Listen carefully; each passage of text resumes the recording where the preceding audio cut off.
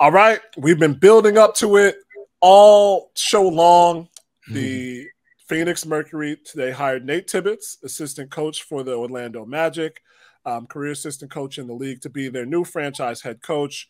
Um, super uh, taking over for uh, Nikki Blue, who closed out the season for Phoenix after Vanessa Nygaard was let go earlier in the season. As Michael Voepel of ESPN said, uh, Nate has no previous experience in the WNBA, and his only previous head coaching role was in the NBA's G League.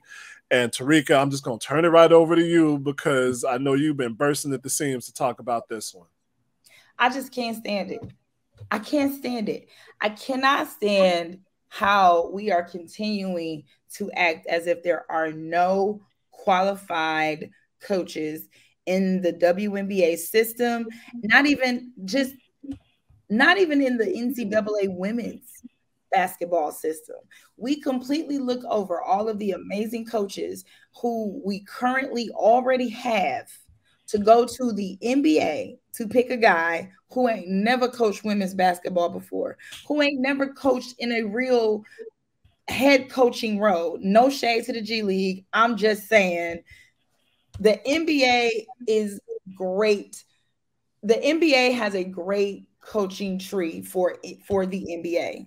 But I just started this particular show by saying we have greats of the game in the WNBA, and we have so many people who have been a part of the women's basketball uh, uh, trajectory from its infancy stages until now that it baffles me how we are making these decisions when it comes to selecting a head coach. I was critical when when when the Sparks selected Derek Fisher.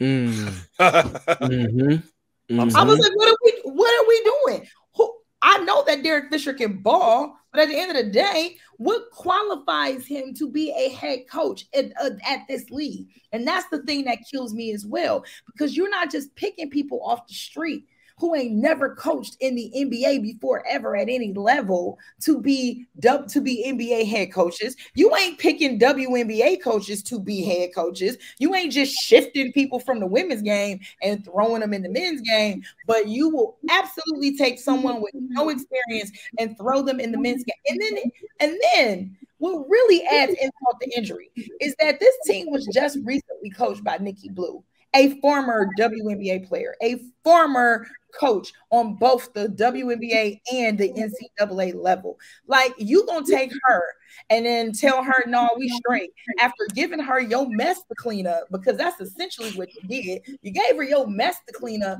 and then mad that they only won seven games. Well, I mean, maybe you had not hired Vanessa Nygaard from the jump, because we told you about that foolishness too, then you wouldn't be in the situation that you're in. But here we are. I feel like Mat Ishbia wants to do the right thing. He's invested money mm-hmm. into a facility. I love that. He's talked about how he wants to really galvanize this, this the, the organization and get the fans to buy in and all this other stuff. And I believe that. But what you're doing right now is you're insulting the many people who have given years and time to this organization. And then on top of that, to put the icing on the cake, you do this crap three days after we just hear that Spoon got hired for the highest paid position in the league, bruh. Is this person better than Becky? We don't like, and and I and I want to be clear. This ain't no shade to you, Nate, because Nate, I don't know you. I don't know. You could be a very good coach. You could be a great coach. But the point is, is that there are spots in this league that should go to people are genuinely qualified to coach in this league.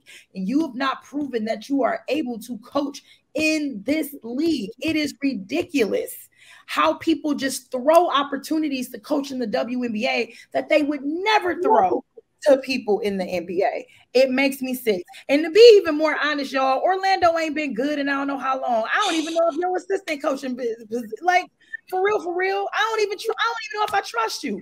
Orlando ain't been nothing to write home about for me to even think that I could trust you. So at the end of the day, you know, and I don't want people to think I'm anti-male. I'm not anti-male because here's the thing: if you had gave this bag to Curt Miller, who has been coaching in women's basketball from Bowling Green all the way through now, would have been great. He earned it. He deserved it. He's a winner. He's got the respect of the players. It makes sense.